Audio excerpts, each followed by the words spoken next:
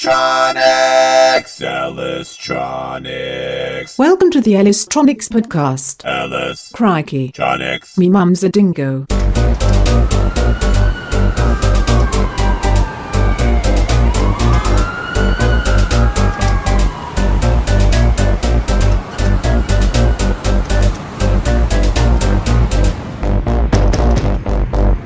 Yeah, man, Ellistronics episode 17. I only know now because Tully made me count from the last one. So I'm pretty pumped that we've made it to 17. 17 is a great number. That's how many fights Jake Ellenberger has had in the UFC. That's exactly right. I know a lot about a lot of stuff. I'm Uh, lying. that's pretty random and Who is this Pretty lady spot on. that speaks to us as if she knows us? Sorry, I got that from a movie. Isabella Sinclair is here. She is our guest for uh, this week's episode. And uh, those of you who don't know Isabella, she has been on the Jason Ellis show before. And uh, if you follow me on social media, you would know her from the photos that I make you all feel very awkward about. I have actually received a text message from my uh, from my my ex-wife from the last photo that I posted, saying, "Are you sure? Looks like fun. Smiley face emoji. Where what do you have her number? I'm really interested in coming to see her." I doubt that's what it said. no, you're spot on, Michael. That, She that's- offer family rates. do you think you could give me a discount on that bed? I'm really into the suffocation thing. Uh, is there any way that you could drop that over at my house? I'd love to sleep in it. Yeah, yeah, yeah. You could do. You can imagine how thrilled she is about that. Um, but that's because Was she concerned about your safety? no, No. Okay. Because that's most people. I think they're like, oh, that freaked me out. no. Okay, you know Ex- what? ex-wives traditionally aren't all that worried about their ex's safety. Fair enough. I think she'd be bummed if I died. Sure, sure. I'll go just along not with that. for the right reason. uh, we're getting along well. Uh, that's the first look, and I didn't. I was like that. I appreciate your opinion, but uh, I know what I'm doing. Yeah. But I can see people taking it uh, all certain way, certain kinds of ways, and they do. Um, but uh, like I said, I, I, I, I, I really enjoy it, and the more I do it, the more I enjoy it, and uh, I think it's like anything, which I never would have assumed. I, I, I think you can get better at it, oh, yeah. which makes It's no definitely sense. Definitely a process, right a growth process. Now, uh, you're you're a dominatrix. Yes. That is your professional uh, title. Yeah. and uh, what I and this is the other thing I would say that I would be uh, a, a dominant a, a, a dominating guy who I now I guess I'm one of those guys that likes uh, what like what to feel what it feels like on the other end. I think you're experimental more than anything. I think that you're like, hmm, that looks interesting. Let me try that. Because why not? Why why shouldn't you? Right, that's okay. You, you're not afraid. You're fearless. So um, I think I would lump you more into. I mean, I think you can snap into that submissive mindset, like just to like let go, um, and that's common. People Okay. who, who live their life in a very dominant way, controlling everything, and every once in a while you just kind of want to check out. Yeah, yeah, it's kind of it's kind of fun. I wasn't sure now that I'm a sober guy that it would be that it'd be worse or better. I, I actually kind of thought that it, maybe I'd be less into it, but hmm. uh, I it, I think Was this the first time I've seen you since hmm. you've been mm-hmm. sober? Yeah. Yeah. Okay. I mean even the the time before I think I'd actually had some drinks before I came there. Liquid courage, I Yeah. call that. I can usually tell that. I imagine you see a bit of that. A little bit. New people, it, it calms the nerves, they say. I'm like, I don't want your nerves calm. I like it when Right. you're, you know, adrenaline going and heart pounding. well, look, I, I I think it was better. I feel like maybe I'm I I could feel more. Right. So instead of like running from it, which is what I usually love to do, I was right in there. Yeah. dealing with it. So uh, I'm more about it than ever now. I, I'm like, man, I should go again soon, but I'm trying not to. I got to pace myself. Um, and my chick will get weird about it. If I'm like, yeah, I'm just gonna go. Get. She's like, you go what? You going once a week? I'm like, oh, yeah, I, I got to pace myself. Does anybody ever go too much? Uh, yeah. Do you feel like as a bartender you sometimes overserve? Well, I mean, it's hard to say that because I love it when they come to me um, regularly because you do. It is a growth process. So you start out, you know, and you keep growing and growing and growing.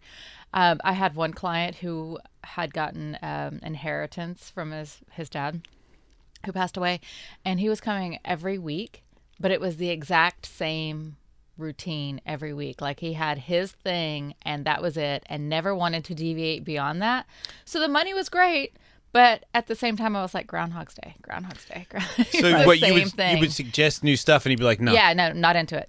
Totally not into it. So, but if I Very came to you 21 days straight, at some point, would you say you need to diversify your life a little bit? We can't keep meeting like this.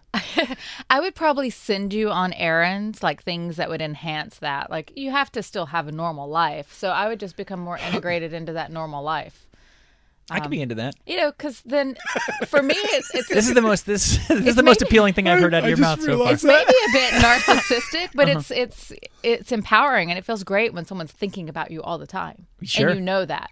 Uh, like I've put people in chastity and I'll have them like send me a text, you know, when it gets to the point where I'm the only thing on your mind, you know, let me know. And it's amazing. Sometimes I'll get text every five minutes. Like, okay, dial it back a little bit. Maybe like when you can't stand it anymore, send me a text. Um, because you're constantly aware of it. And if, you know, the saying is true that men think about their penises every five seconds, then if you're in chastity, you're thinking about it every second. It's there, it's on you. Right. What other errands might you send somebody on? Because that one doesn't sound like something I'd be into. But I, I like No, this but it- idea in theory. It's part of being um, in someone's mind constantly. So errands, um, it could be shopping for me. It could be things that you need to get that I say, like I modify people's diets. I you can't do this. Take these things out of your your cabinet. I don't want you to get this. I want you to try this. No more sodas. No more this. So it depends on how integrated I become with them. But some people I become really integrated. The last bit just sounded like my wife. yeah. I'm well, sorry, I had to go uh, there. I Thank you. I didn't know where it was. yeah, I mean, I become sometimes the most important thing in people's lives, but it goes in phases. They'll burn out of it and then go do something else and then come back. So, Always. Has anybody ever wanted to live there permanently? yes. To where you have to. Yeah, when I first started my my own personal dungeon called the Ivy Manor, I had three live-in slaves. And I lived there for 3 years and they cycled through in the course of 3 years and I think at one time all three of them lived there together. For me it was amazing because I never did my laundry and I didn't know where the mop was at all. Like someone spilled something and they're like, "Where's the mop?" I'm like, "I don't know." Uh, but it was a 5,000 square foot Victorian house that had 17 rooms in it, and I delegated everything. Um, they would come to me, and I would basically micromanage every little thing that they did. And for me, being organized and like wanting to like have that kind of control and servitude, it was great. There's a sitcom in there somewhere. Yeah, but It's a fucking TV show that I would watch the hell out of. That it is was, amazing. Um, it was the most interesting part of my life. Uh, you know that I'm glad I did. I don't know if I could do it now because now, yeah, I've moved on to other things. Um, I have four kids that I manage, so I don't. it's kind of the same thing, but a different feeling from the inside. You have four kids? Yeah, three. Yeah, go ahead and tell Michael this story because this is this is a story in itself. This is Uh, amazing. I have one biological who will be 16 in May. Um, but in 2009, um, my sister lost custody of her kids, and they were going to go into a foster home. So I moved to Alabama and took custody. It was just two of them at the time, and um, two boys, and they were nine and 11. So I jumped into their lives and started raising them. And then in 2010, I was literally in New Orleans cel- celebrating my birthday. Uh, left the boys with friends. Said I'm just going to get away for a week. I just, you know, I had three boys at this time. It's like I just want a weekend away. I'm there, and my phone rings, and it's Department of Human Resources, which is basically Child Services. And I was like, "Fuck! How'd they know I left town?" You know, I immediately like kind of panicked a little bit. Um, and all my friends are there. Like everybody flew in for Voodoo Fest, and um, I answer it. Hello, and this woman just starts talking and apparently my sister who was in jail at the time had a baby girl and she was biracial. And there were no foster homes that would take a biracial child because it was a social stigma. So they were like if you can't take her we'll put her into an orphanage. I was like no no no i'll take her but i was in shock. I was still like trying to get fat get through the fact that i wasn't in trouble for, Right. for ducking out of town without letting them know because at this point I just had custody of them, the two boys. And um, so I was like, yeah, I'll I'll I'll take her. I mean, I've, I'm already raising three already. What's one more? And um, so yeah, I have four kids, and so now she's six, and the oldest is 19, 17, and then 16 in May. It sounds like a very remarkable family in more than yeah, one way. it's amazing. Um, because everybody looks different when I walk in, when I walk into places with all these kids that obviously don't look anything like me except for my my biological. Um, people kind of like, I wonder what's going on there. Like, are they all hers? And then yeah, it becomes apparent that they're all mine. So then you moved them all to California. Yeah. In 2013, I just I couldn't live in the South anymore. I needed to be back in LA. I still had my house here, and um, so yeah, I did the adoption process and um, popped back here, and so we live here. That's great. Yeah. I mean, an obvious question: To what extent are your kids aware of your work? Well, the boys know. Yeah, I've never lied to them, and once um, my little girl gets old enough to know, she'll when she gets old enough to ask the questions. That's when they much ask the question, and you give them the I answer. talk about I've got to go to I've got to go to work. I've got to go to my studio. I have a video production studio, which I do. You know, I have two video production companies, um, two different genres, and um, so I'm open about talking about it. I just don't go into the details about Sure. it. But the boys are old enough, and they've seen my pistachio commercial that I did a few years ago. I saw you whip that nut. Yeah. um, they've seen me on A Thousand Ways to Die because they were all watching that show for a while and they're like, wait, that's mom. you know, so um, when they ask the questions, I tell them. And then I prepare them like, look, guys, don't take any flack from your friends. This is my life. This is my job. Uh, if they question you about it, say, yeah, you know, it's just what she does. And never deny it because the second you say, my mom doesn't do that, then they're going to be throwing things in your face. It's never the crime; it's always the cover up. Yeah, so you know, never deny it and just be like, yeah, it's kind of a weird job, but that's what she does. What does your mom do? Well, You I think you made the right choice in in in in having the sort of family in Los Angeles as opposed to Alabama. Yeah, well, it was difficult in Alabama. I was just talking to a friend about this yesterday, like why I was moving back. Um, I was at Walmart because that's we live in a small town. That's really the only place where you can go and get everything. And um, I'm in the parking lot and I'm pushing um, my little girl, and she's like five months old, and um, her fro is just starting to grow out. So it was she's light skinned, but it was obvious that she was you know mixed. And um, this little girl, probably no longer no older than five or six years old, goes, "Mama, is she a nigger lover?" Oh, and I kind of cut my, you know, my body around to be like, I can't wait till the mother tells this little girl, like, hey, that's not okay or whatever. And she just looked at her, grabbed her on the shoulder, and said, Yes, she is, honey. Yes, she is. And I was just shocked. Like, that happened. yeah, that happened.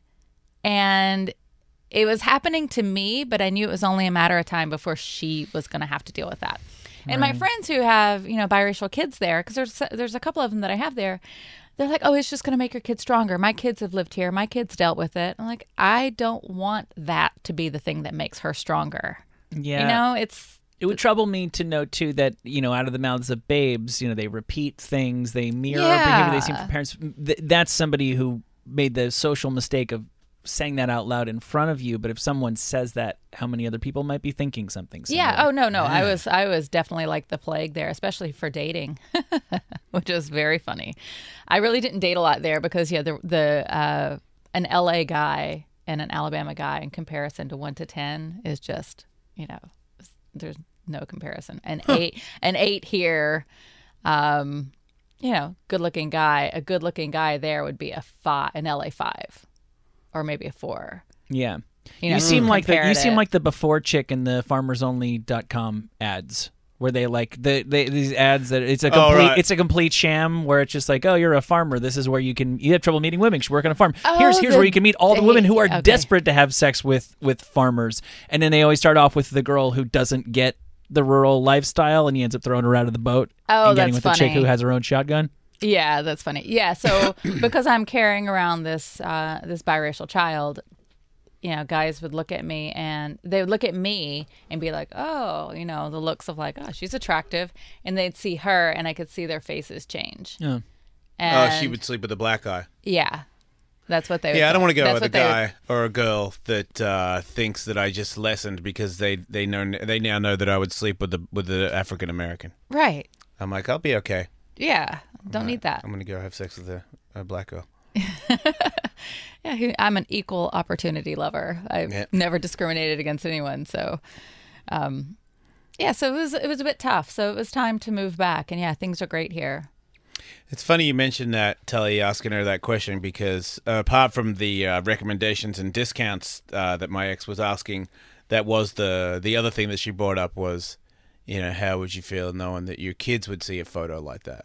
And I was like, well, if they they're not gonna see that, but if when they do get older and they do see it, I'll tell them what it is. Like Yeah. it's not, I'm not like, uh, Never do anything that you're ashamed of, and never do anything and post it on the internet that you're ashamed of. Yeah, Like, I'm really you gotta not- like own things. I things. talk about it on the radio, and I, and I and I feel like you know there will be a time where maybe there will be kids that are going to make fun of it. Oh, your dad did this, or your dad did that, and you can tell them that's what you know. Dad d- does a lot of stuff. Uh, You know, some of it's he does it because he really wants to, and other stuff it's like experiences that I want to learn, and then I talk about on the radio because that's my job. I, I mean, I talk about everything on the radio, and I'm the kind of person that wants to try everything, and I can't get it from you. I have to do it myself to know. Right. And like the first time I went and saw you, I was absolutely positive that I was gonna uh, come back here and go, I made it. You know what I mean? I, I'm here. What a fucking nightmare that was. Like even my if Katie was positive. She was like, "You're gonna be in fucking hell," and I'm like, You're gonna hate that. I'm like, you know what? I'm, but I'm not. I remember saying, I'm not going to give up though. Like, no matter what she does, I'm going to take it, and then I'm going to walk. I'm going to say thank you very much, and then I'm going to leave, and then I'm going to take it, and I, and and, I, and then uh, and I mean, at one point, the the whipping thing that you know that really did hurt, but there was a something that came with it that was uh was drug like.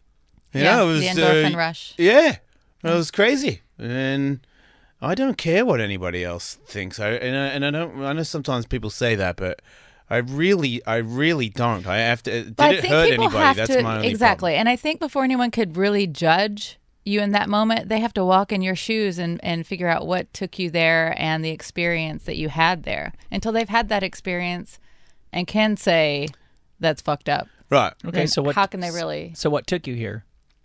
What to, oh, I mean, so so so walk us through it then. um like someone who comes to see me?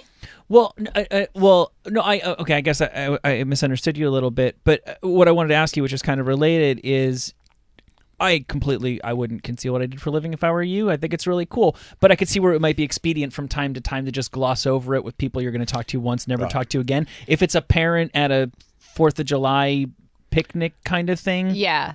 I um I'm more reserved.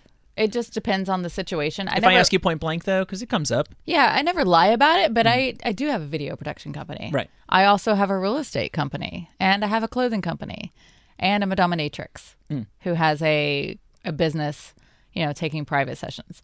So I mean, I could say a multitude of things that I wouldn't be lying, but for the most part, I like to tell people what I do, and whenever um like all of my little girls' friends, and I did the same thing with my son's friends. If they were ever going to come to my house, I would just pull the parent aside and say, "Hey, I just want you to know this is what I do professionally.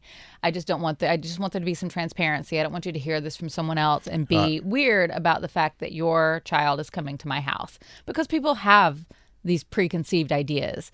Oh, I bet she's got a dungeon in her house. No, I don't. Why would I want that? Like I have a house. Right. It's a family home.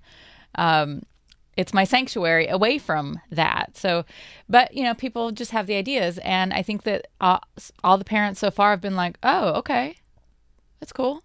Thanks for letting me know." And yeah, I do the same thing with my little girls' friends when their parents want to come to my house. cool. So you're very hardworking. Uh, You know, the other thing I want to mention that is uh, I did not know this when I first met you, but uh, Isabella is one of the better and highly regarded dominatrix in the country. Did you know that? I would have assumed, but I didn't know that I didn't for know a fact. that, but apparently uh, she's the be all and end all of of all of it. They're like, "Wait, you go to her?" And I'm like, "What? Yeah, what? That's not just like a dominant." No, no, that's that's The the, yeah. You're like So- nationally ranked. Yeah, I would probably say in the world. yeah. But I think it's also because I am a good spokesmodel for my industry. I agree. Uh, I have always trained people. I've always done conventions. I've lectured in universities. Um, I like to open people up to it without being um, you know shock value or whatever. I, I want to talk about it. Let's talk about these things and educate people, and um, not nothing raunchy or you know. So it's just I've never really turned down a lot of publicity opportunities because I am that person and my my community has kind of championed me as that person. Yeah. And um yeah, I've I feel like I have an obligation to them to make it look the way it's supposed to look. So Does um does your industry regulate itself at all? In I'm thinking of like martial arts here, where if I just went and opened, you know, Joe's discount whippings tomorrow and had no idea what I was doing and, and started offering dom services, would anything happen to me? Well, think no. I mean, we don't, but you, a client will come and see you once, and then post a bad review, and no one else will come. I mean, luckily, a long time ago, this couldn't be a referral kind of business. You didn't say like, "What dentist do you use?" You know, like, "What dominatrix do you use?" Mm-hmm. So pre-internet, you could do that a lot easier because no one could really exchange that information about Right. people. Now with the internet, there's all these portals to post reviews, and people read those reviews. Are you on Yelp? It should be. no, no, but that's a. It probably violates one of their community standards or something, kind of like Instagram has theirs, and you know. Mm-hmm. So, uh, I think that there's a couple of dungeons that like rent out space that are on Yelp. I've never done it. Okay.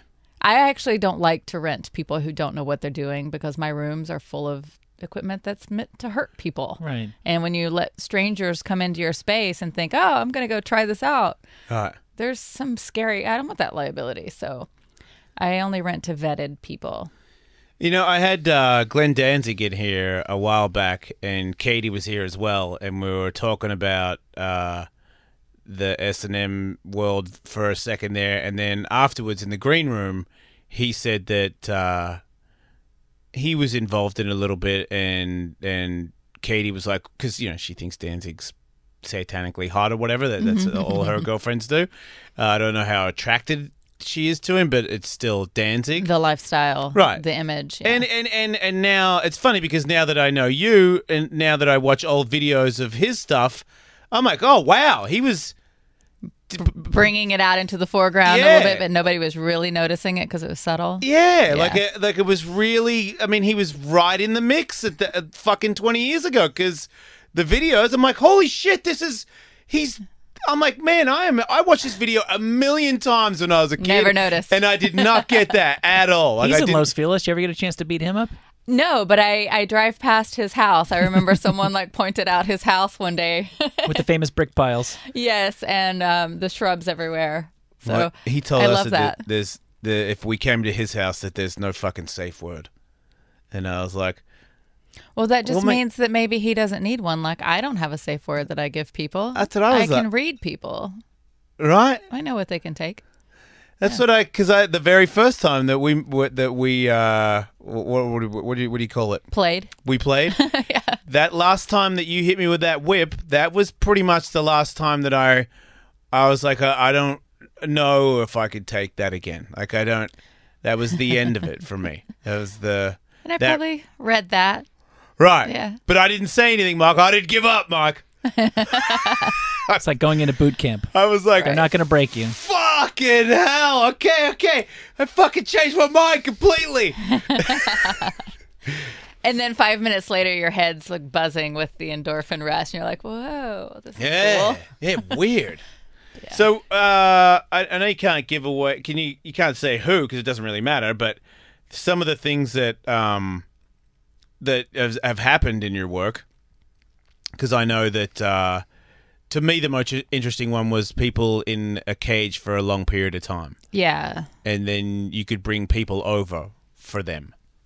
Yes. Are you allowed to talk about stuff like that, or am I? No, no, I can talk about those things. Um, I just did. Uh, I have trainees right now. I started. I think since the last time I talked to you, I started this company called Dom Collective, where I've trained a lot of women. I mentor them and I teach them how to be independent doms. Kind of so like they they come over for a one-on-one class, or They well, I, yeah, I, I bring some of my professional or personal slaves in, and then I train them in different things, and then I bring them into my sessions. wait a minute, personal slaves? Yeah, You have personal slaves. yeah. the ones who run the errands, the ones that I modify their diets for. No one would be able to pay me to do that constantly every day. But when you develop a dynamic with somebody, then they become more of like your personal slave. And you both get something out of that relationship. Oh wow! So it's like you, it's sort of like you practice this, but this is this is your lifestyle, Yeah. It's still being served without the financial right? aspect or the hourly financial So you'll tell them to show up at a certain time, and we're going to do this and this is going to be training for these women um, and so they're, and they they're like, yes, mistress. It's like the Yes. beauty school equivalent of dominatrixes. yeah so i brought in um, two women into a session that i did with someone from um, the east coast that i've seen probably since probably 23 years i've been doing this for 24 years and i think he was probably one of the first ones that i saw and it, i force feed him um, and when I told them, I was like, this is a session you've never seen before, so I want you to come in and see it. Our dynamic is when um, we were both quite younger, uh, I would tell him that he was into feeding, like being forced to eat. But I changed the dynamic into I'm going to feed you and make you fat so no one's ever going to want you and you're going to be my slave forever. So it's like this like crazy dominatrix thing, you know, like Well, I'm going to is he control you. For, he's not big. It's just a yeah. You put a couple decades into Right, this. right. Yeah, I know. Um, but Like he, that for eight hundred That pounds. foie stuck gras in a might be ready now. he likes. Yeah. I can't get him out of the cage. He just grew inside of it. Dumbo I keeps can't take him texting out. me.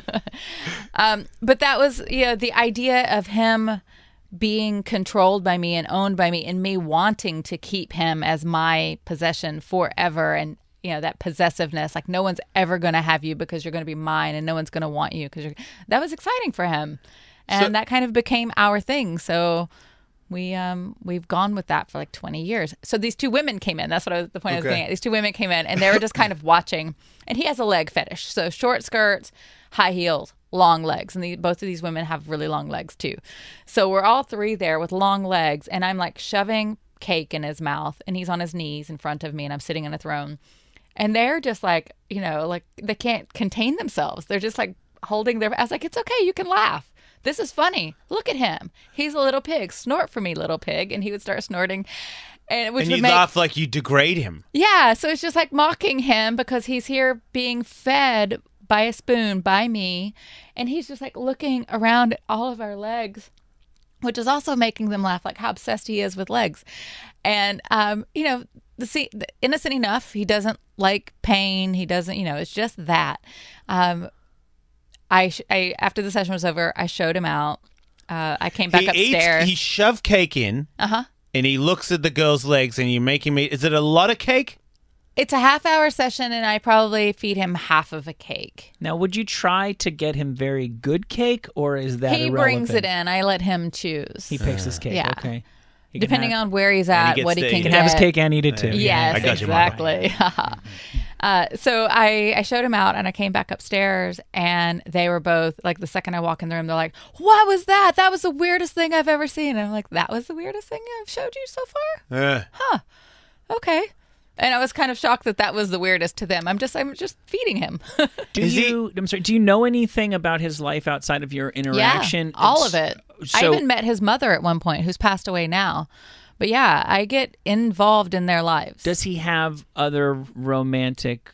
I don't no. Know. Okay. He's dated in the past, um, but some people that's just not what they what they're looking for. Okay. They want to serve. They don't really want the balance of an equ- the equality of a relationship. All right. is his penis involved in this at all? He touches himself, and that was another thing because I was like, point that gun down, because you know he can't help but touch himself Okay. while I'm like shoving food and he's looking at legs, and uh, of course I'm reprimanding him for it because he has no control and he's like a pig. And um, at one point, at one point, I was like, "Look at you! You're so disgusting. You can't." Stop touching yourself, which makes him, of course, touch himself even more Okay. and and I was looking at the women, and I am like you know got distracted from him for a second, and I turn around and look at him. I was like, "Point that down," because I'm like sitting right in front of him, Yeah. like, "Hey, what are you doing?" Yeah. Um, yeah, and then And then off he goes. off he goes. What about if an ongoing client is in some sort of relationship? I, I'm thinking it's almost like when a psychiatrist knows what a husband or a wife is really thinking that they're not going home and telling their partner about because they're telling their therapist, not their romantic partner. Do you feel like you have really meaningful insights into these people that you feel like their partners don't have? A lot. Well, yeah, because it's a part of their psyche, part of their, you know, the deepest recesses of their their psyche that they're not sharing with anyone else, and it's fear of being rejected or fear fear of being judged. And um, I actually have a lot of personal slaves who are married and their wives send them to me because they know that I'm not going to try to steal their husband and that it's it is exactly what the dynamic is. He's there to serve, he's there to let go of this part of him that she doesn't want to be a part of for whatever reason. Um, but she wants him to still be able to have it because she knows if he doesn't have it, it's going to cause problems. And I think for the most part, uh, the majority of my clients are married. And I think that's one of the things that keeps them married because when you aren't getting this core part of you and being dominant or submissive or having the need to submit is not something that's kind of fleeting, kind of stays around. Well, right. It seems to me that the the the deeper the source of of whatever the stuff is that you're working at or acting out or having fun with, whatever you want to call it. I'm sure it's a little bit of all those things. The more kinky you are. You know, you know, it's it's like if you if you have a little bit of a oh, I kind of got into this thing when I was a kid, and now that's kind of one of the kinks I'm into in bed. That's mild kink, but people who have really deep, like I need to be fed cake and insulted in this particular way, it's probably a pretty deep thing, a pretty substantial thing that they're holding deep in their subconscious. Right. And those are usually the ones who aren't in long term relationships, the ones that have that deep of a, a need for certain things. yeah, It's right. hard to get that. Um, but I think the ones that just need, like, there's very basic bondage or the loss of control. kid stuff. Yeah. It's kid stuff. Yeah. So look, somebody who wants to eat a lot of cake and do that, and you're saying that he doesn't want to be involved in any pain or anything like that. What about the other end of the spectrum, where someone doesn't want to eat cake but they want to be involved in pain? How far does that go, and, and how far do you take it? I I luckily can read people really well, but I have one of my subs. Um, we've now coined it the twelve years a slave whipping, which if you've seen the movie, it's a no warm up, no remorse for the lashes. It's very therapeutic for him because he had he he was a cutter, which is kind of a dangerous Oh, way wow. of getting pain Yeah. because sometimes you can't always control that. So you need someone to take it from you and give it to you at the same time. Take that responsibility of, of giving yourself pain. Yeah. Um, so it's a, that's a very bonding kind of situation. Like he always wants to hug my legs or hug me, you know, after it's over. Um, he needs a lot of like aftercare nurturing because it releases so much of, you know, some of this trauma, for lack of a better word, that happened to him in his childhood. But um, how he found that pain is a release of that is, you know, uh, his own journey because I didn't introduce him to that, and neither did another dominatrix. You know, it just it just kind of manifested that way, and then he said, "Well, maybe I should do this differently." Um, but I think a lot of people uh, have turned to that. I don't know. Have you? Do you know Dave Navarro? Yeah. He did a documentary, Mourning Son. Have you seen it? No. It's a journey from where his mother was murdered and how he kind of dealt with it through his life. And it's really beautiful.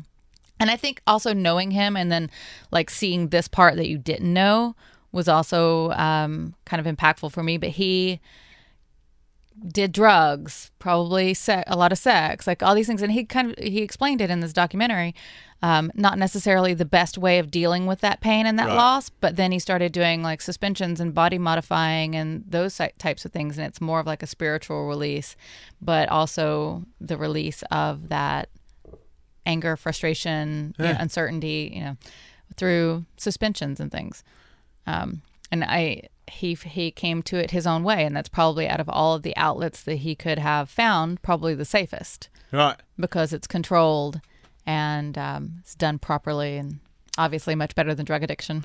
Look, I felt like the very first time uh, we played and you whipped me that the after the last lashing, I felt like I I wanted to be consoled as well. Like I felt like, Like hugged. yeah, like I felt. I took like you for drinks. yeah. around the corner? No, no, I'm Would talking about. I'm talking. I'm talking right there and then, Oh. right after it. Yeah. If I I I I felt like I was holding on to somebody that was consoling me, like I'd been through a traumatic experience. Like immediately right there, I was like, "Ah, okay, thank, thank you, f- thank you for stopping," or I don't know what it, what it was, but I was definitely like holding on. It brings some things to the surface, maybe even that you don't know you have. Like the first time that I whipped the the um, guy who's the twelve years a slave. How bad of a whipping are we talking here? Oh, is he bleeding? Um, I don't bring it to that point. Like it's heavy welts. It's like uh, Okay. uh, raised bruising. Do you read people's skin? Is Yeah. there a difference? Okay. Yeah. Um, some people thinner skin obviously is going to cut more. Huh. You never know if someone is also a free bleeder, if they have thin blood thinners, things like that. Okay. So, um, I always check skin. A free bleeder. Yeah, you know, someone who does who has blood thinners that they have Oh, to take. okay. Things like, so if you a small cut bleeds a lot. Okay.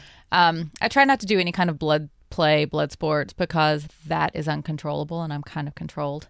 And these are my whips and the tools of my trade. So um, I clean them, but um, something that gets blood all over it, you is, you can't clean. You got to throw that away. Especially if there's like leather involved and Yeah, stuff like that, right? yeah. So I'm really safe in that that respect. So I don't bring blood to the surface of the skin. I'll stop before that. But there's also ways of doing it, like wrapping saran wrap around someone, like a thin layer of saran wrap. The impact is still there, but it doesn't. There's a layer of protecting the skin. Right. That's how I tenderize chicken breasts. Yeah. See, you little Are you tricks of the serious? trade. Yeah. That's so hot, Michael. Well, it, it also keeps the I mean, the salmonella from spraying all over Right. the other food that you're preparing. Splattering But it's kind of hot too. All right. Thanks for staying with me, Michael. I appreciate that. I just wanted to be hot with your chicken. Do you consider your work to be a part of your personal sexual identity?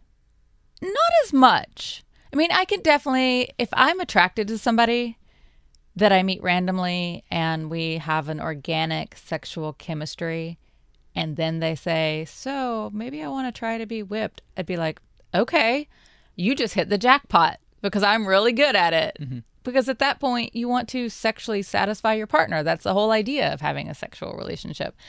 Uh, it's not something that I seek out mainly because when you get to the level that I am in my industry and people approach you and want to date you because they know you as Isabella, then there's always that worry of I think Ra- Rita Hayworth said it. I I sleep with them as Gilda. I wake up as me. You know, like they have to see both sides of you, Right. and everybody has different dynamics like that. Um, I think that that work in my industry, so I don't want to always be Isabella. You know, sometimes I want to just chill out and not be dominating somebody. And that's another thing. If they think that um, getting into a relationship with me means that it's going to be constant bullying, dominating, pushing them around, you know, I that's a lot of work. Kind of like if you thought you were going to date me, that I would be telling you fart jokes all day. like, oh, I'd love to j- date Jason. He'd be so funny. Or Michael would just make all one, like sarcastic one-liners all day. Right. No, It's a no, thing. It's the wouldn't. same thing with comedians. I did a, a podcast with Ari Shaffir, and we had that Yeah, yeah. conversation about you know his dating life. And I was like, yeah, I bet people date you because they just want you to make them laugh all day. And he's like, yeah, you know, like it's the same thing. Like it, you can do that stuff, and if someone likes your sense of humor and they catch it off the cuff because you're in an organic relationship and they're laughing at you, that's great. But to like go into that relationship wanting that all the time, it's not fair. Do you feel like it affects your sex life though, which is a slightly different thing? Put it this way: if you stop doing the work that you do over the course of a year or five years, do you think that your personal sex life would change because you're that's not? I mean, you can't help but be influenced by the things in your daily life. Um, I I don't think so. I mean, I've it's hard to say because I've been doing this now for 24 years, Sure. pretty consistently, um, and I think I have a pretty good sex drive. So I I like sex. I it doesn't have to involve whips and chains and blindfolds and all that. Um, so I don't know that if I stopped doing it, if I would need to incorporate those things in because I I, I don't I don't know. Right. It's hard Look, to say. I'll I- let you know. I'll touch base with you in a couple of years if I Look forward to retire. And Look, you can. I feel like it, there's a there's a giant sexual part of it for sure, but there's also a giant part of it that that was surprising to me that isn't. yeah, That so I feel like, uh, sure, you've got a healthy sex drive, but that doesn't mean every time I'm tying someone up, I'm getting hot and bothered. Right. It's sometimes it's the art of it and the control, and just being able to um, manipulate someone, and also the satisfaction of giving them what they're asking for, but you're giving it to them in a safe way that you know they're going to leave better than than they came in. Also, I feel like having the sexual part, just having sex with somebody that you're attracted to, doesn't have to have that the other part to be a part of it either. You can just have sex like any other person. You For some people, it's foreplay. I mean, it is definitely a strong part in um, BDSM right. you know relationships uh, a lot of people couples that i train they started out using it as foreplay and then realize that this is actually more fun so they'll have sex for 10 minutes but they'll play for two hours before Right. and then the sex is almost like the ender that oh now it's done now what do we do like it was the two hours before that was the fun part um, so i mean it's So you'll teach people, you'll teach couples, yeah and then they do it to each other. Yeah. And the funny thing is, is the majority of the couples that I that come to me, when I did lectures at UCLA, I did it in, in a panel of healthcare professionals who were sex therapists, psychiatrists, psychologists, and I did that because they had just started getting people coming to them and saying, "Well, I really like this. It's you know, I like being submissive and my wife, and what do I do?" I started getting a lot of referrals. And what I learned was um, the majority of the time, the couples were both submissive, but didn't know how to identify that they were submissive. So they're basically waiting for the other person to do something, Oh. and nothing okay. was ever getting done, and their sex life was waning because no one was there to like jump in and take charge. Right. And when you're in a, a relationship longer than seven years, I think that's where that seven year itch thing comes in. Like, I, I'd love to have sex with my husband, but he's not going to initiate it, and I'm too tired. And, you know, like, you just lose that fire. So, luckily, these couples were brave enough to like step in and ask for some help. And um, I still, I'm great friends with a lot of the couples that I've trained, and I teach them how to top each other, how to switch with each other What's and a- sometimes they make it a game, like a football game wager. Like there's one couple uh, that are from the Midwest. They lived in LA, but they're both athletic as kids, both love sports, go to all sporting events. They do wagers. You've So- got to wear a corset for a week if you lose this game, or if the Cornhuskers lose. yeah, or you're gonna wear a chastity device for the weekend, or you know, so they they play games throughout the whole their whole thing. And now they um they just moved to the East Coast, and the husband called me. He's like, "So, can you give me a discount on some equipment? Because I think we're gonna build a home dungeon finally."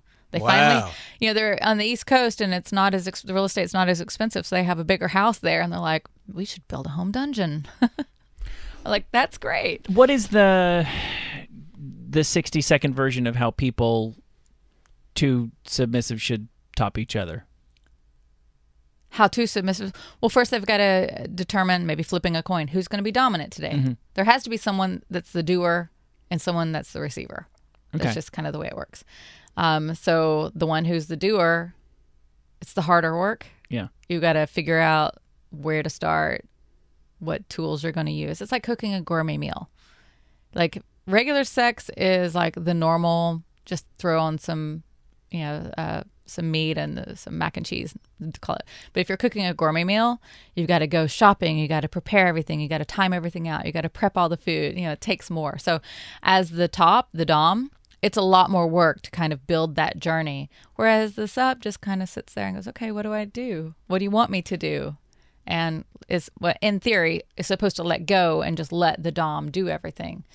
Um, but there's you know you negotiate what you like. If you're married it's easier because you kind of already know each other and you probably already know like she likes being tied down. She likes her nipples tweaked. She likes her legs spread. She likes it when i touch her here. Um, when you're just starting to date and you're navigating those things there probably needs to be a lot more dialogue Yeah, it's always the broaching that conversation that that's hard I find interesting and kind of hilarious. yeah which is what we were talking about when i saw your craigslist ad thing i right. think When we talked about Craigslist on the show. Yeah, I um, I think it's much easier now for people to just kind of put it out there what they're into because you could add that to a dating website, and there's also websites that are dating websites ish for um, dom and sub. So you could say, I identify as a sub. I'm looking for a more dominant Oh, woman. wow. Yeah, because it's hard to say that face to face. Like, say, second date, you like this person, you know this, like you like this person, but you need to feel that out immediately before you keep going with that. Because if they're not what you're looking for, you've wasted their time, you've wasted your time. It's just, you know, if you know that's what you need, you should shouldn't be longer than the second date or the third date. Right, right, because it's so hard. I have very like vanilla uh, taste in sex so far as I've been able to discover. Tell so that to far, the chicken. and uh, and yet it was still very very challenging for me to find someone that I wanted to spend all my time with, to have kids with and stuff. When you add that element too, mm-hmm. it it, it, almost, it seems mathematically almost impossible. And I figured out years and years ago, it's not the exact same thing, but people who really advertise their, for lack of a better word, freakishness, body modification or mm-hmm. whatever, are just saving themselves time. When you just telegraph to the world, I'm not a secret this or that. This is what kind of person I am. And I don't care if 99% of people are like, I want nothing to do with that person. They were going to come to that conclusion when they found out who the real you was Right. anyway. Right. You may as well just go advertise. And if she talks to you at Ralph's, you're in. Yeah. If she identifies with the shirt that you got on. Yeah. Yeah. Like, hey, I like that shirt. Awesome. Yeah, you may not share the same kinks, but you guys probably can get the ball rolling in some Right. way, shape, or form. Yeah, but when it comes to this this kind of stuff, if if you're just started dating somebody or you go on a date with somebody and you bring up that you're you're into S and M, I mean, I wouldn't do that. I wouldn't bring it up because you've I'd feel like the person would be like, "What the fuck?" super judgmental. A lot of people could be out of the anyway. Yeah, the beauty of Fifty Shades of Grey for my for my clients that I was trying to like, you know, everybody wants to meet somebody that you could actually do this with in real life. Not Do all they? the the young guys who aren't in relationships. That yeah, they would much rather find somebody that they could have a relationship with and do this. Uh, I think that's kind of the goal, is to have that dynamic all the time. But yeah, I would, I would um, kind of teach them like, well, you you could get a magazine or go to a bookstore, and if you see a magazine that has this girl on the cover, like Katy Perry did a cover that had latex on it, that's a great segue into, hey, do you see this? Who's this girl? Have you ever heard of her? I like this dress then you're like, let's check this out, this latex stuff. Maybe I could get you something that looks like this. It's a good segue when you see things in, you know, everyday life that you can kind of move into. So then when 50 Shades of Grey came out, for guys, I was like, this is your perfect opportunity to like, hey, have you heard of this book everybody's talking about? Yeah. I hear there's this movie. Maybe we should go see it together and then feel it out that way. Um, and I think that that opened up so many eyes for so many women. Like, oh, the possibility of this. You know, it's not as scary as maybe everybody thinks it is. So it was great. A lot of people hated it. I thought it's an eye opener and it's a way for people to see it without being afraid of it. Huh. Do you find that you have more clients because of the movie? I see a lot more couples. Wow. Yep. People want to give it a go. people want to give it a go. They um, usually one person's into it more than the other, but the other one's like, ah, I, I could try this. I'm totally into this. Is it usually the guy that's more into it? Um, mostly it is, but lately it's been the women. Like I have a couple that I play with right now, and uh, she. When you're emailing with someone, you don't know who you're talking to. Yeah. It could be a guy that's pretending to be a girl, you know, like the catfishing stuff. So uh, the emails were so detailed oriented, like it was from a guy saying it was his fetish, but it was being written by the girl. So I was like, all right, well, I want to meet the guy first and see because it was her saying she's into this, she wants this, which is kind of unusual too.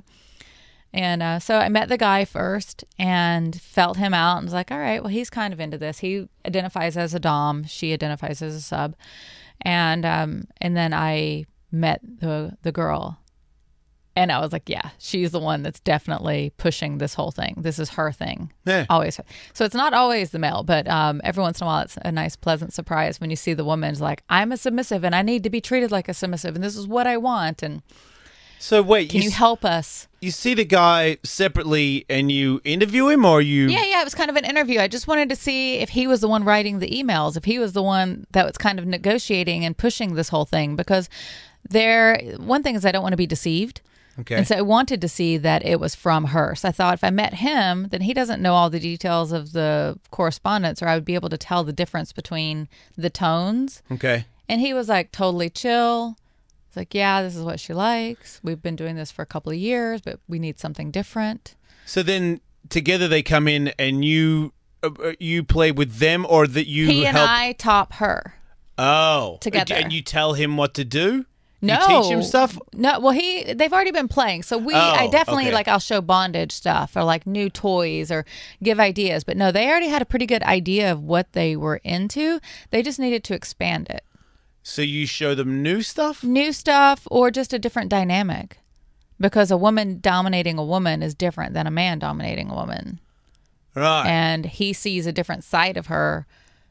Um, and they're also in a relationship. So her submission to me is deeper because she has to deal with the day to day with him. So she snaps in and snaps out of it really quickly. With me, she stays in it. So that's the headspace she really wants. And so, yeah, they uh, now I see them pretty regularly and it's amazing. wow. Yeah. Do you think you know any stuff about human nature because of your work that the Oh, average person doesn't know? Absolutely. Um, one of the biggest realizations was uh, what we call a smartass masochist. Someone who is always pushing your buttons, wanting the argument, wanting the constant confrontation. Will. It's sometimes it, I've learned that they want to be put in their place That's what we need to do. and be Michael. snapped in and put in their place. Dynamic mm-hmm. with relationships, especially, uh, this constant pushing at somebody. And I see that and I'm like, that's unhealthy. You guys should just learn how to like work that out in a BDSM way instead of like constantly trying to fight with the, with each other. yeah. So I hmm. see that, and I. At, just through experience, you're like oh, relating it what to your life. what what you over laugh- there, you're like, oh god. my my my parents bicker a lot.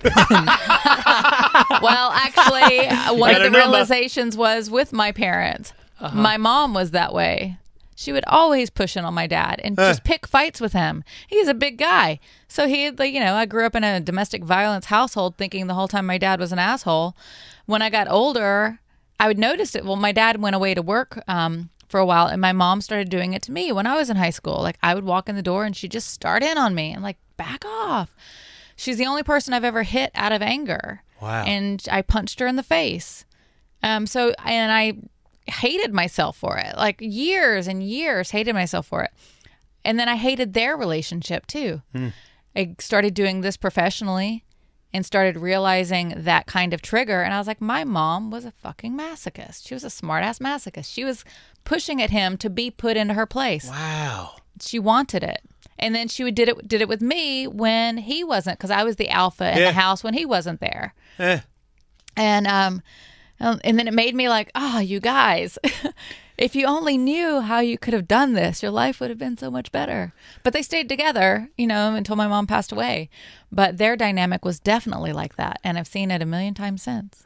So you're saying there's a way that people like that in a in a roundabout way can be cured? Like they can start doing what you're doing and submitting? then and like then just getting that kind of um put in put in your place without the and then it would take it out of their actual day to day lives. yeah. I like think, getting your aggression out of the gym. yeah exactly. And it's controlled. It's not like my yeah, it's like a guy who is adrenaline junkie who goes into a bar looking for a fight.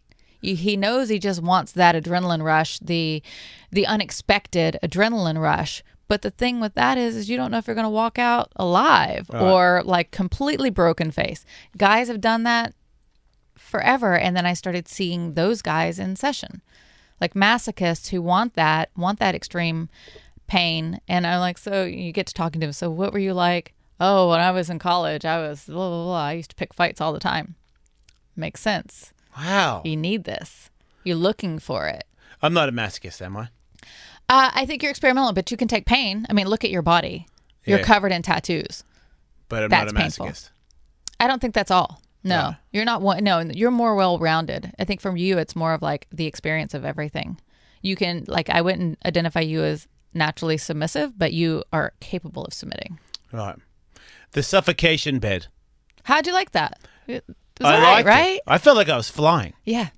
Everybody else that saw that photo thinks that that's the most uncomfortable thing that they could ever imagine. Scariest thing in the world. You know, people who've done body modifying the suspension say the same thing. You, See, I'm you, not into that. you erase the pain That looks and then weird you to just me. feel floaty. You could probably handle it though. Yeah, but I don't want to. Yeah. There's where you draw the line. Yeah, I think so. Yeah, like uh, I have friends that I see photos of them doing it, and I've never, I've never called them wanted to to go, either. hey, about that try fish that. hook thing. Thinking about becoming a, a human coat hanger. What's up? I don't want to do it at all. Yeah. But- it's obviously not for everyone. Like I I've been in the suction bed once. I'm claustrophobic. I when it first came out, I was like, "All right, I need to know what this is like." And it also reminded me of Star Wars. You know, Yeah, being yeah, yeah. freeze dried in that. Carbonite, yeah. Yeah. So I was like, "Okay, try this out." And um I could only stay in it for a few minutes and I was tapping out because I was I didn't like the feeling of it on my face.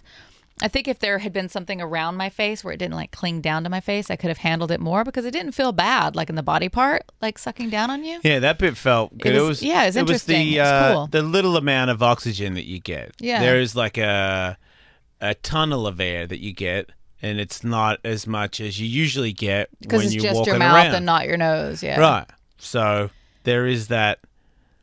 I could probably handle that because I can regulate my breathing for like scuba diving. See, that's what I think. That's what I think I did. Yeah, I think there's a. I, I, I remember thinking I'm not it. getting as much air as I usually do, but I but I also know how much air I need before I'm actually suffocating, and this isn't it. Yeah. This is enough to live. Yeah. So I'm, and I think it's gotta, Relax. It's enough to live. Right. Honestly, I'm like, look, I and I feel like if I was like, hey, I'm fucking suffocating, you let me out. Yeah. I don't. I don't think at any at any time you're like, you know what, fuck this guy. He's Five a more nut." minutes. Yeah, I just don't. I don't believe that. So I don't. I don't have that fear about it. No. Uh, I think that scares a lot of people for the same reason that kind of scares me is just the fear of suffocation, the fear of like something on you that you can't get off. Right. The claustrophobic thing. Yeah. But a lot of people have that. I don't know if so. I think sometimes people say they're claustrophobic, but they don't actually know they are or not. Like they just. But I think if you see a photo of that and that makes you uncomfortable, then you're probably claustrophobic. Yeah. Because when you're not even in it and you're uncomfortable, like Katie, Katie's like, I can't believe you fucking did that. And I'm like, I was having fun. She's like, really? I'm like, well, yeah. Well, I, I ain't gone if it wasn't like fun. I Yeah. won't. I won't buy shoes if I can't put my big toe on top of the toe next to it. If I if my Oh, if toes feel like tight. they're trapped, But see, Wow. with my you, my, Okay, my, this- my, my feet feel. This bed is not for you. Maybe for the chicken. but I had already, I didn't throw you right into that bed because before that, I had put you in a latex catsuit with a hood. And then I also put you in the latex catsuit with the hood that had the rebreather thing on it. So I had already tested that water before, knowing that you weren't going to freak Ah. out. So I'm smart like that. You- I you baby just- stepped me. Yeah, and you didn't even know it. But I knew I didn't. I knew you could have handled it because I'd already tied you, put you in latex and tied you down on top, which is basically the same thing, just a Oh, different yeah. sensation. Yeah, you made me suffocate more in prior uh times where Holding your breath. Yeah, that yeah. that one cuz that was like I can't you can't hear me. I don't, and as you said you, there is no safe word. And and what kind of safe word do you have when somebody's got their fucking hand over your mouth? what what what that that ain't that ain't English, you know what I mean? So I remember okay, okay, I can't breathe, I can't breathe, I can't breathe, I can't breathe. And then I let you and breathe. then and then yeah, but then I remember like I think maybe I might have tried to like wiggle my head, Mm-hmm. And and I'm like you, you took your hand up, but I'm like I can't. I don't know how much longer I'm gonna go, but I still didn't think like I'm gonna die. no. And I also think jujitsu helps too, because I think I fucking have really let it. You, you get you practice that a lot. Like I'm like I can't. You're I- breathing, like yeah, keeping well, your I heart feel rate like I- low and breathing. Well, and- that and my if that because there's two different chokes. You can choke your wind and you can choke your blood to your brain. Mm-hmm. So both of them, when they start to disappear on you, you know by testing the limits how much further you can go. So I've you know I mean I've been where I'm like oh I'm going I'm going I'm going, but I can still try and get out. I'm like nope nope definitely not going to get out. And then you tap. oh, but it's have of- you ever gone out? Yes. Well, that's how Yeah. I know. Oh, how far you can push it. Yeah, because I was like, I'm out, I'm out, I'm out, and then all of a sudden, whoa, everyone's like, Hey, what are you doing? I'm like, I don't know Tunnel what- vision. Yeah, Okay. don't know where I am. Well, I can say that I've never had anybody tap out like that or like go out. Like I always know when to let them breathe again. I've never had anybody pass out like I, that. tr- I trusted you anyway. It's all right. well, look, I've learned a lot, and I hope uh, other people have. If it's for you or it isn't for you, it's it's entirely up to you. If anybody wants to check out uh, Isabella, Sinclair, where do they go to to see to to, to, to get a hold of you? The the best portal is my website, isabellasinclaire.com, and Sinclair has an E on the end. If you Google Mistress Isabella Dominatrix, I pop up. I'm like all over the internet. Um, but that has links to kind of everything my Instagram, my Twitter, but I'm all over social media. And you can help people not just in Los Angeles, like you do, because you said that people know you worldwide. Yeah. You well, hel- I do videos, so people have seen the videos. Um, and they can learn by watching the videos. Yeah. And I do Skype sessions. I travel when I can. Not as much Huh. now, but yeah. Yeah, I'm out there. Skype sessions. Yeah. They'll be like, "Hey, what do I?" Like you'll watch somebody dominate. Yeah, I'll Oh. dominate them through the internet. So I'm watching them, which before it used to be phone sessions, like phone sex. Oh wow! But you can't see someone spank themselves. Like if you tell them to spank themselves and you hear like it's hitting wood, you're like, that's not your ass. I know what a spank sounds like. But they'd be like, yes, mistress. Yes, mistress. Now with the Skype, you can actually see them doing it to themselves. So it's much more rewarding. Oh, good. But yeah, Future. the- Yeah, if you, you, need it and there's no one around to to to pay or to like do these sessions, in some countries it's hard to find this sort of thing. So Have you ever? Because it sounds like you tell people what to eat sometimes. Have you ever told people what to use in the gym, like how to work out? no you like that, Michael? cardio. That's all I could say is like cardio. You need to lose some weight. Is that what I was going to say? And what Treadmill. Michael's giggling about is uh, that you could uh, suggest that they go to onnit.com, which is our sponsor for the podcast. Oh, okay. Yeah, yeah. And then there's kettlebells and maces and stuff, and you could suggest to uh, some of your submissives that they should do a certain amount of kettlebell swings. Mm-hmm. They could go to onnit.com and they could see exercise videos. They could use the MTC, or Will they you could hook be like, me up with some of those kettlebells? Because those are pretty badass. yeah, oh, I could get you for sure. I need those in my dungeon. You should dominate Aubrey and then and then tell me all about it, and then I can text Aubrey Yep. about how useless he is or how he gave up faster than I should have and all that stuff. Everybody listening to this has been very bad, and the only cure for that is some emulsified MCT oil at onnit.com. this is the greatest commercial because we're about to go to a commercial channel, so we're gonna get this shit going. right, you like that, bitch. Go get some uh, Hemp Force Vanilla Acai. Yeah, wait, That they're gonna sounds say good. now? Vanilla Acai. Oh, okay. I was gonna say, Human fucking filth. assholes, give me some. Yeah, you human, yeah, get some plant-based protein into you, scum suckers, and then uh, suffocate yourself on some Alpha Brain. You're welcome. and uh, du- and, and uh, what else? And tie uh, one of the lighter kettlebells to your nuts because remember you had a weight I did. tied to my to my junk, and you didn't know how heavy it was I until did I let you hold it, and then you're like, "Whoa!" I was holding some serious weights, un similar to the weights that you can get mm-hmm. at onnit.com. Yes. You have some of the kettlebells in mind, Well, the, the, the clubs and maces section on onnit.com takes on a whole new look in the context When of this I- conversation. The kettlebells that I tried to pick up out there that were really heavy. I was like, "Wow, these are not very big." Yeah. I could have someone spread eagle on the suspension and then put those on the ground and tie their legs to it so their legs are spread wide. It's like a spreader bar except cooler. And then you could have Adam with these wooden Indian clubs, Wait, don't you Uh, have wait, a what bat? quad that? mace. Don't you have a bat? I Did do I have see a a- bat, yeah, yeah. but those are amazing. What is that for? Uh, for beating For- your for whatever you want it to Yeah, yeah, be. yeah. Which one do you want to know about? Well, that's the mace. Those are the maces No, where the there's black, the one- black ones are for the all the different. Oh, sizes. those are the weight belts. I mean, Not so, those. No, that That yeah, those those are the bats. There's all different workouts that you do with those. So There's the not only like hitting tires and stuff. no, no, no, no. Those are like uh, instead of arm curls, there's like all different kinds of things over your head, Really? and things like that. And you hold them like a bat, but they're super heavy because they're made of metal. And now we're looking at the suspension rings. Uh, that I could use. Yep. So there's all. So we're tying all this in: suspension Yeah. rings, the balance board. You could tell your submissive to balance on the board, and if he fails, then you could give him some Yep. lashings. Like the worthless piece of shit he is. yes, Yes. worthless, worthless, no balance cocksucker. Eat some more cake, you And fat pig. yeah, you could lay someone on their back on that. And I it would just be some realized- awkward- like those, amazing. When you're done being force-fed cake, Michael, you could, uh, you know what I mean, burn it off This is by going perfect. to onnit.com. That's right. You can have a calorie neutral session. Yeah, There it is. Thank you for being on the show. you're welcome. Thanks for Uh, having me. thank you, everybody that listens to Ellistronics, and thank you, Onnit, for sponsoring it. This is another episode of Ellistronics.